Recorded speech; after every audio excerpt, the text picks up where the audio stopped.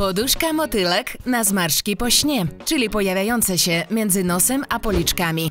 Efekt Beauty. Jak to działa? Aby każda chwila snu dawała stuprocentową korzyść, by po przebudzeniu być pełnym energii i cieszyć się odbiciem w lustrze, należy stworzyć doskonałe warunki dla jakościowego wypoczynku. Podstawową bohaterką tego scenariusza jest poduszka, a dokładniej poduszka motylek od Olvi.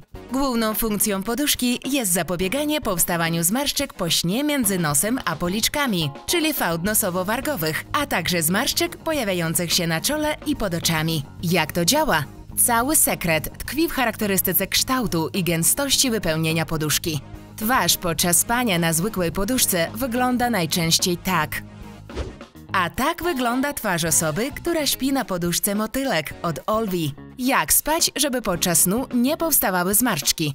W części środkowej poduszki znajduje się niewielkie podwyższenie, które zapewnia dodatkowy komfort podczas spania na boku. Kładziemy na nim szyję i ucho. W okolicy policzka znajduje się wgłębienie, jednak twarz w nie nie trafia. Dlaczego tak się dzieje?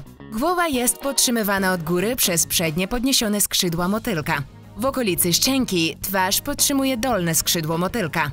Dzięki temu pod policzkiem pozostaje wolna przestrzeń, zapobiegająca zgniataniu skóry. A co najważniejsze, spanie na tej poduszce jest bardzo wygodne. Bardzo przyjemnie jest widzieć świeżą i gładką twarz w lustrze po obudzeniu.